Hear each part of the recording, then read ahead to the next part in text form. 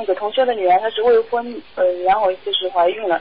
那她的话是就是 这种情况，赶快结婚呀！呃，结不了的话呢，结不了的话，尽量不要打胎了，嗯。对对，她我就对外就对外说，先把手续办好，婚礼晚一点办嘛。嗯，就是说把可以把可以把那个结婚证先办好，或者就是说先把是把把手续办了，我们已经结婚了嘛。但是我们具体什么时候什么时候再再再比方说办办酒席，呃，这个这个实际上也无所谓的，反正反正现在总归是以以后总归要结婚的嘛，对不对啊？但是呃如果你现在用这个心去打打胎的话，以后给你自己会造成无穷的后患。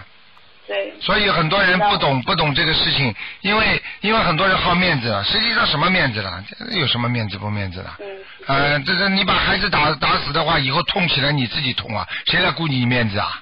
晚年的时候生病腰不好，身体上长肿瘤，这个地方那个地方的话，那不是你受罪啊？你为了人家一点面子，哦哟，不给人家笑话，所以有时候人就是不现实，活在不现实、虚无缥缈的空间了，明白了吗？